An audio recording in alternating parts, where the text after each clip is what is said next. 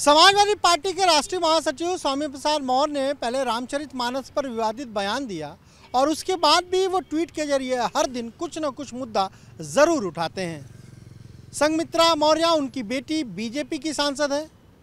वो बीजेपी में है, बदायूं से पार्टी की सांसद भी हैं और कुछ समय पहले संगमित्रा मौर्य ने भी कुछ ऐसा ही बयान दिया था जिससे साफ़ लग रहा था कि वो कहीं ना कहीं स्वामी प्रसाद मौर्य की बात का ही समर्थन कर रही हैं। उसके बाद सवाल खड़े हुए कि क्या वो बीजेपी में ही रहेंगी?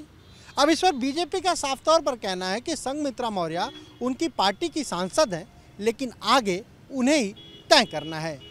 प्रदेश अध्यक्ष भूपेन्द्र चौधरी ने साफ़ तौर पर कहा है कि बदायूं से संगमित्रा मौर्य बीजेपी की सांसद हैं। वो बीजेपी के सिंबल पर चुनाव जीत कर आई हैं, लेकिन आगे क्या करना है, ये संगमित्रा मौर्य को ही तय करना है। यानी बीजेपी का स्पष्ट संदेश संगमित्रा मौर्य के लिए आया है। वहीं अब स्वामी प्रसाद मौर्य कह रहे हैं कि इस पूरे मामले से संगमित्रा मौर्य का कुछ भी लेना देना नहीं है। वो बीजेपी की सांसद है और ये उनके विवेक पर है कि वो आगे क्या करेंगी।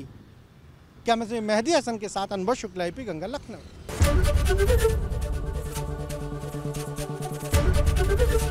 एबीपी गंगा, खबर आपकी, जुबा आपकी।